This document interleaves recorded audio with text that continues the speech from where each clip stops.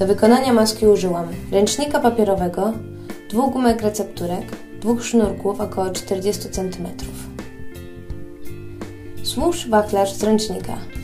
Pamiętaj, że nie musi on być idealny. Połącz ze sobą oba końce ręcznika za pomocą gumek. Możesz użyć też zszywacza. Do powstałych końcówek przywiąż sznurek, tak aby można go było zawiązać za głowę. Maska gotowa.